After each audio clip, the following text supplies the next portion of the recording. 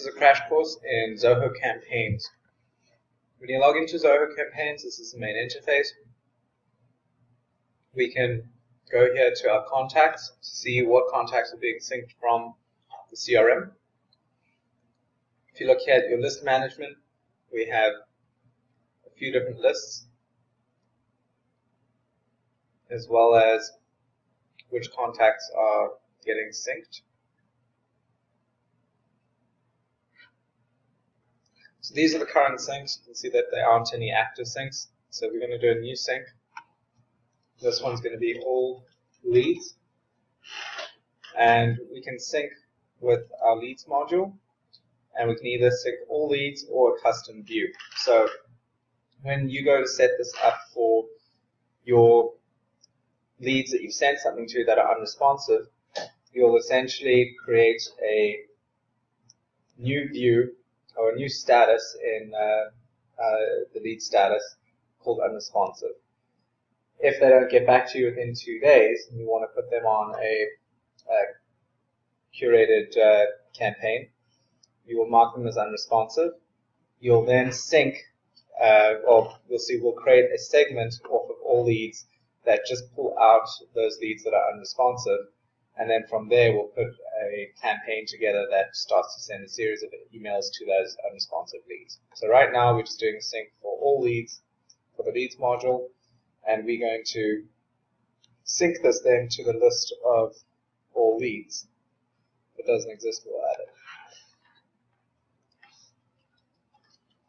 We're using uh, the CRM as kind of the main hub, so all contacts, all leads, everything either gets input into the CRM or deleted in the CRM, and everything is synced back to campaigns. We're never putting anything into campaigns and having it sync up to the CRM.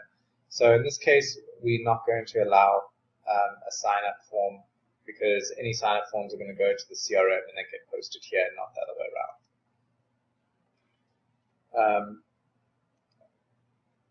okay, so uh, now we've got to choose what fields we want to map. So Let's go through here. We want the opportunity,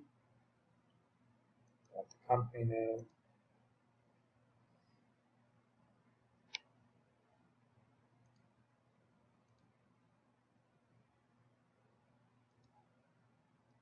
the field doesn't exist, we just create uh, a new one. So let's see, we've got first, last, email, opportunities, company. We want the division and the category. anything that you'd eventually want to um, use as a filter within here in a campaign, we want to sync. So um, maybe we want to do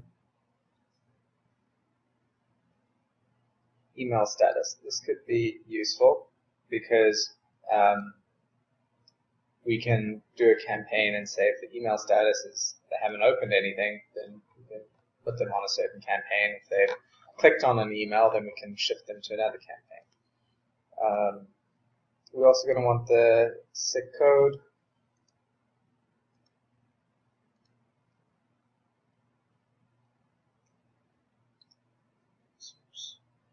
And the lead source, yeah, that.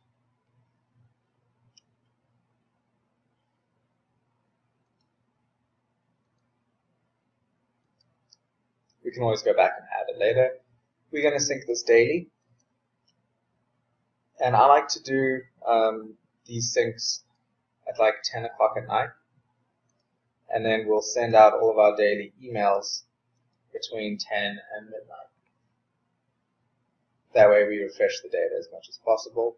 We're going to update the opt-out and the deleted contacts. Again, this is um, syncing everything with the CRM. Okay, so now we have our active sync. Now what we're going to do is we're going to go back to our list management, all leads to segments. We're going to create a segment. We'll call it unresponsive. We choose the, did we add status? No. So we'll have to go back to sync and then specify status is unresponsive. And we'll create the segment. So let's quickly just go back here and make sure that we have the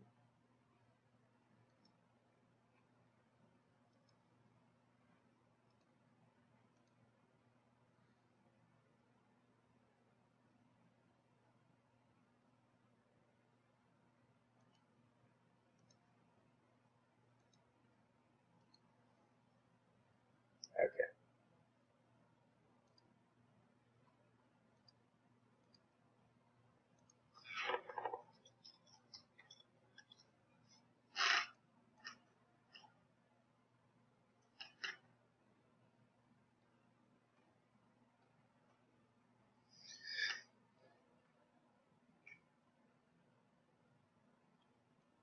Do you see lead status?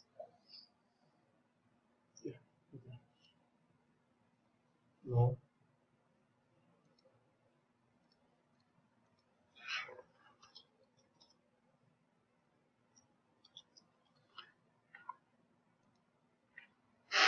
Okay, so now all the unresponsive leads will be put in that segment. So now when we go to automation, and we're going to do a new autoresponder, and it's going to be, um, we can choose a number of different autoresponder campaigns. So if someone signs up, we can do it based on a, a date field.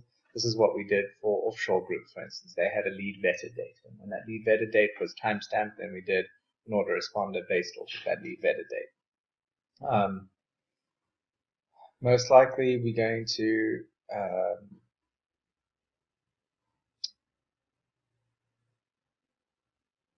do calendar based.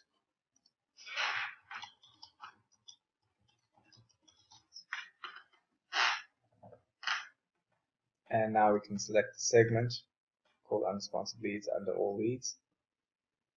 Um, we're not going to repeat it now we can create our first message. And uh, this is going to be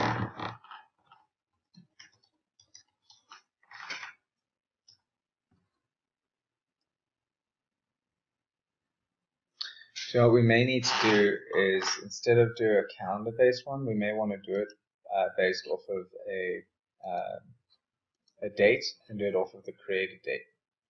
I think that would be a bit better.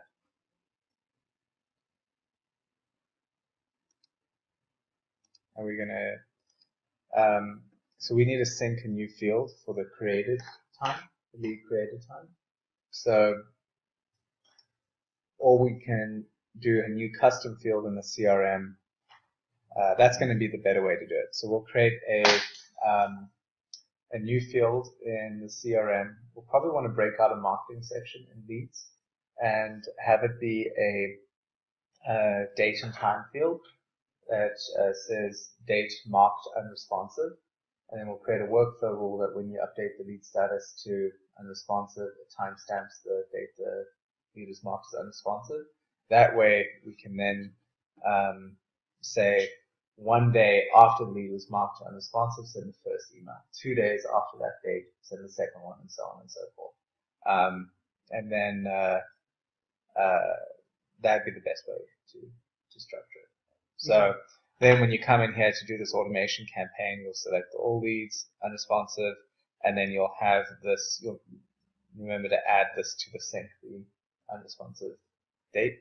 Then you can select that, and then uh, uh, it's just going to be a one-off, not a really.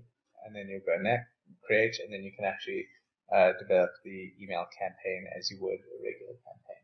So let me quickly show you how to do a regular campaign. Um, if you wanted to do a one-off campaign, you go here to uh, email campaigns, create a campaign. Um, you can do an example, you choose your um, the subject, the sender name, sender email, and where you want them to reply to. Um, then you can um, either build off of an existing template. You can upload an HTML. Um, in most cases, you're going to be going off of a template, and you can either choose from the pre-designed templates that Zoho has, or you can go here to our templates you can see that we already have a few templates in the template library that you can always tweak if you wanted to. Um, if you just want to literally just a plain email, you can just do a plain text if you want a plain text one. Let's just say we're going off of an existing one.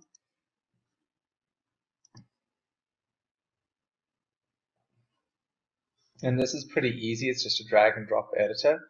So, um, you know, if you want to add a heading, it's much like PandaDoc. You just add your heading, add your text space, you can space it all out.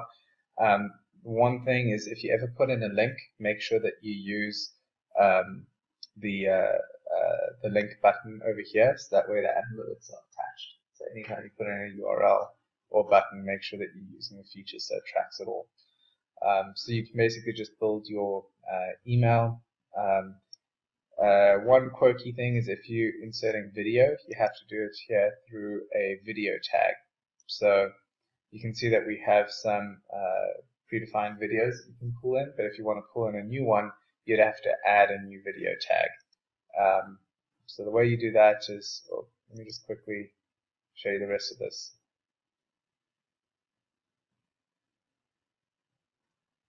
Um, now that you have the email, you click on your recipients, and then this is where you can choose who you want that email to go to.